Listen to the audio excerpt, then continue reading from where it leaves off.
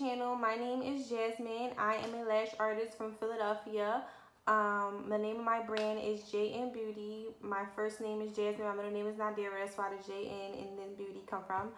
Um, you can follow me on Instagram at JN Beauty with three underscores. Um, yeah, so I basically want to come on here and tell you a little bit about myself and how I became a lash artist and why I became and, you know, just introduce myself um, firstly.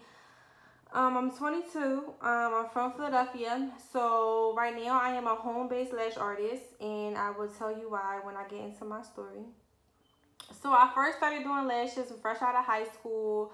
Um, I went to a high school where I did a trade and I also had um, regular high school curriculum. So I graduated with my cosmetology license.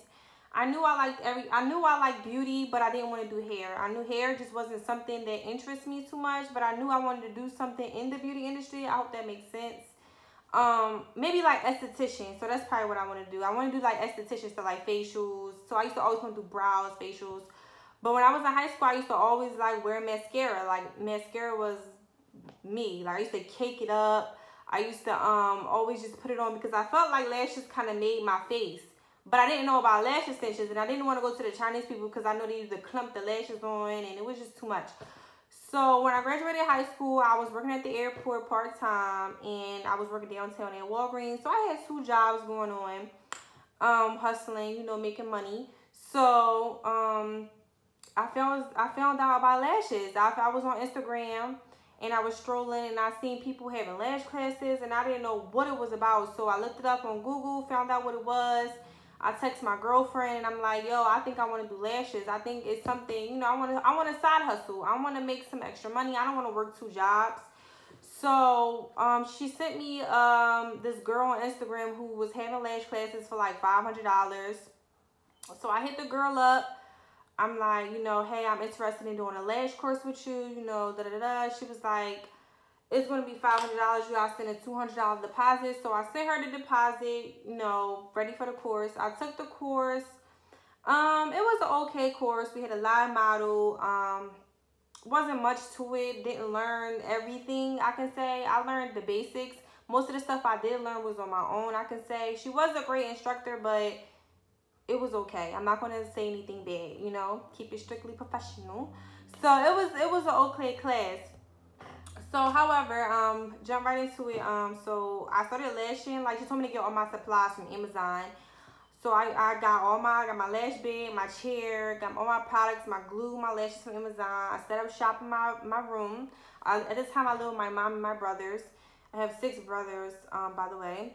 So I used to have my girlfriends come over, get their lashes done in my room, and it would take me like, oh my God, it would take me like four hours four hours to lash someone and I know they were so mad because they had to lay there for four hours. Shout out to my girlfriends because child, I don't know what I'd do without them. So it, it wasn't even full. Like it took me like four hours to get like four lashes on. Like it was it was bad. It was bad.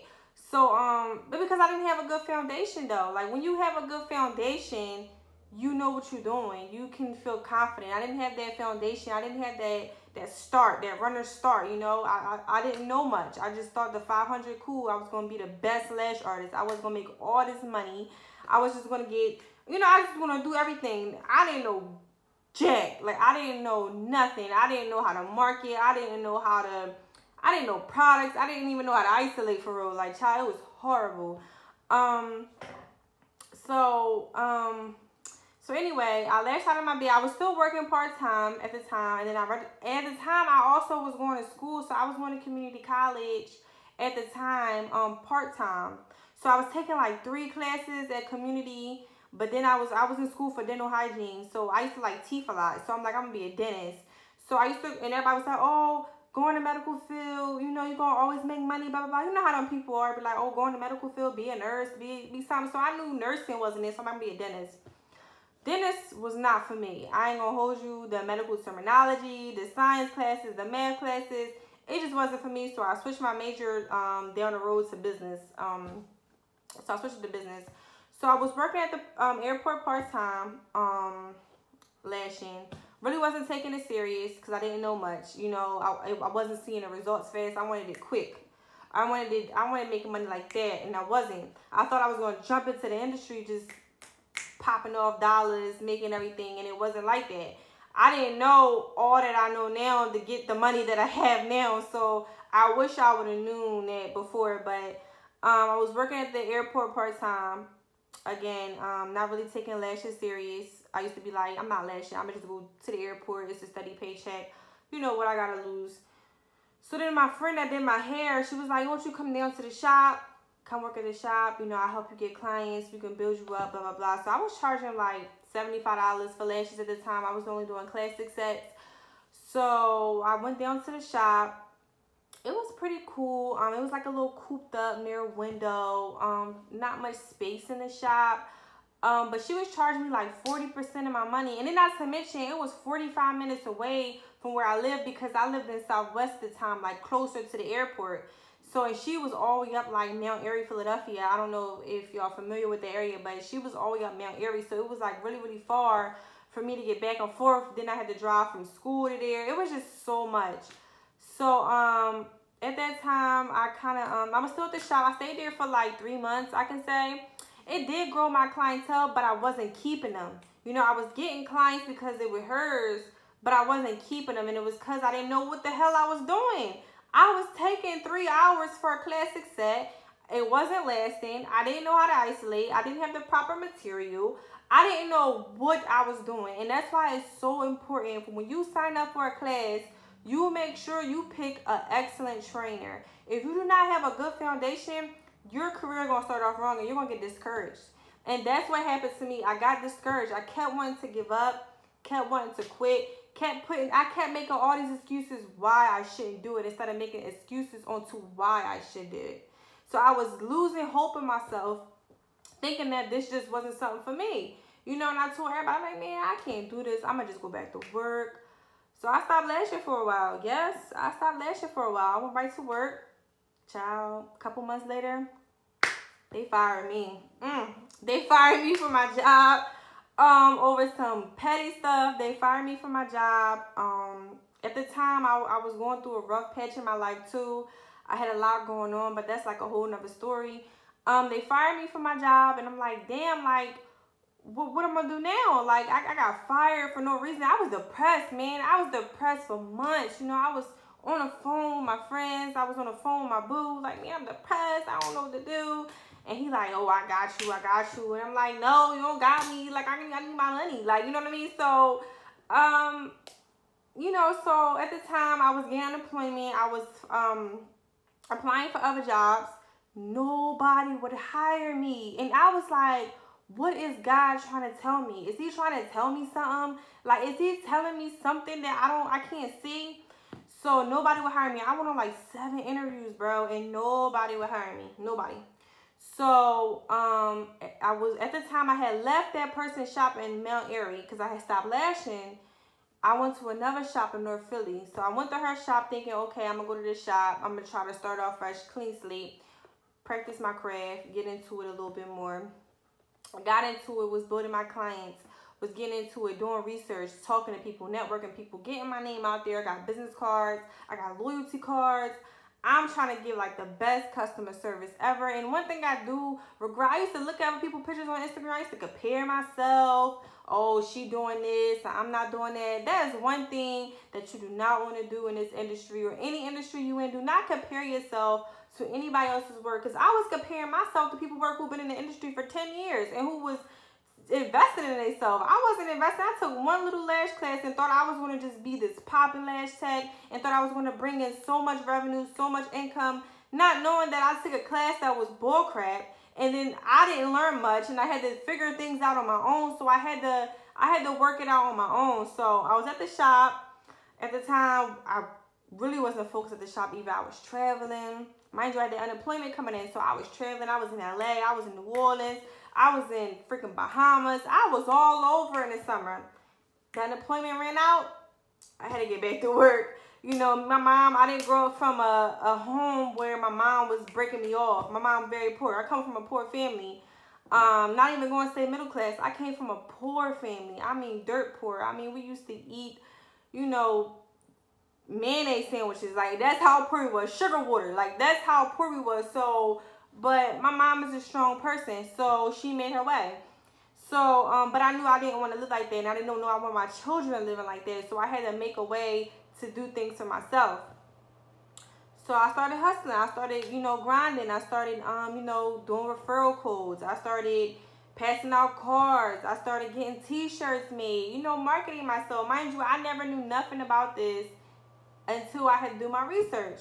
You know, sometimes we wait on other people to support us. We wait on people to give us a handbook like, here, here you go. This how you be successful.